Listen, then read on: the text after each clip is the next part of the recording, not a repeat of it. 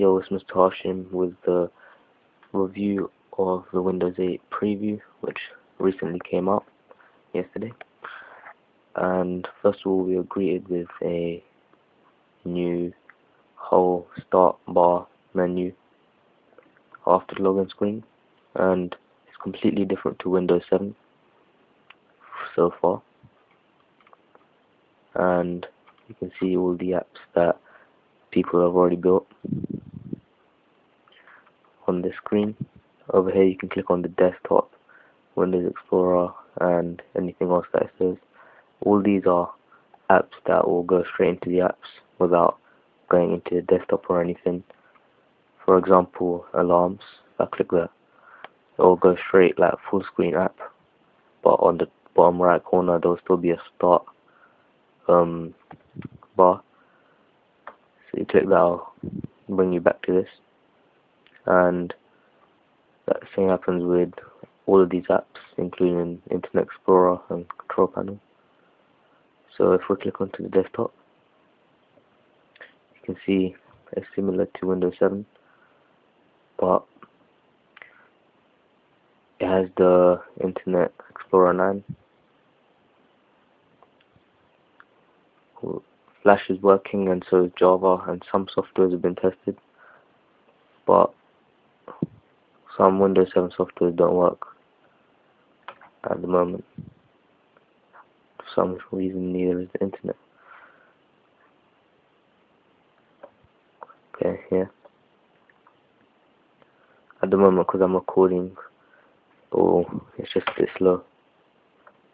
But yeah, it works as smoothly as Windows 7, and it's quite good. Alright, and if we go into Windows Explorer, you can see that the interface has changed quite a bit. It's got the new ribbon, which Windows 2000, Windows Office 2007 and 10 have, and has different tools which you can use in each part.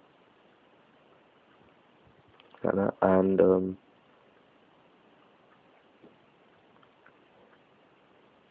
anytime you click the start bar it will bring you to this. Rather than the traditional Windows bar um, opening it will just bring you to this page which I think most of your apps will be. For example I've installed Camtasia Recorder so it will come over here. And on this you can say if I right click stocks you can uninstall it, unpin or make it smaller from here. So you can basically customize it on your on the top right it has what they call a user tile which is basically brings up the control panel which you can change your picture. And you can see the control panel has changed quite a bit. But you can bring up the traditional one from the desktop by clicking the button which the way the actual Windows 8 is much much faster than this. It's because I'm recording. While using it that is a bit slow.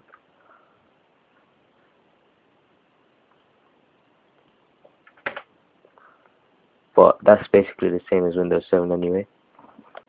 Another good feature of Windows 8 is if you bring your cursor to the left hand side of the screen you'll have the last app or any apps you have open so you can drag it out into the middle like that and will bring the full screen app that was already open.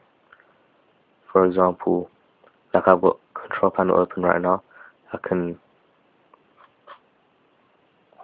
put the computer straight to it or anything else I've got open.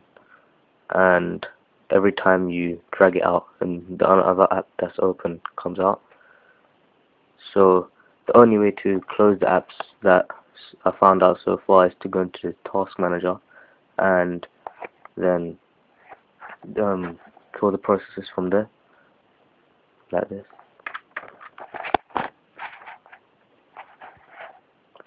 So straight away you can see the task manager has changed completely from Windows XP Vista and 7 you have the simple view with with any apps open.